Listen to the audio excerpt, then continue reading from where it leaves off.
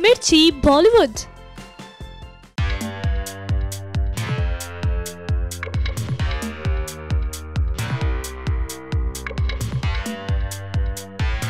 बॉलीवुड के लिए साल 2018 अभी तक बहुत अच्छा रहा है ऐसे में टाइगर श्रॉफ की बागी टू से भी काफ़ी उम्मीदें लगाई जा रही हैं। बता दें कि बागी टू में टाइगर और दिशा पटानी की जोड़ी पहली बार स्क्रीन पर दिखेगी। दोनों की रियल लाइफ केमिस्ट्री तो पहले ही लाइमलाइट में है और ऐसे में दोनों को स्क्रीन पर रोमांस करते देखना बेशक दर्शकों के लिए भी दिलचस्प होगा। बता दें कि फ़िल्म के क्रेज को देखते हुए इसकी एडवांस बुकिंग शुरू कर दी गई है।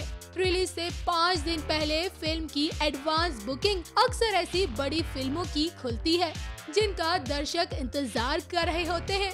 इससे ज़ाहिर होता है कि पहला वीकेंड बागी टू के लिए अहम होगा और खास तौर पर यंग क्राउड जो ऐसी फ़िल्में पसंद करता है, उसको रिलीज़ के पहले दिन ही थिएटर्स में खींचने की कोशिश है।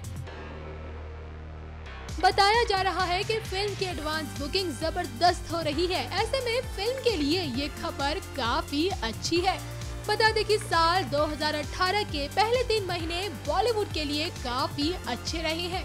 इन तीन महीनों में रिलीज़ हुई पद्मावत, सोनू के टीटू की स्वीटी पैडमैन रेड और हिचकी ने ऐसी कमाई की है कि इंडस्ट्री के ट्रेड पंडितों के चेहरे पर मुस्कुराहट आ गई है इसके बाद अब सभी इस महीने के आखिरी शुक्रवार को रिलीज़ होने वाली टाइगर श्रॉफ की बागी टू से उम्मीद लगाए बैठे हैं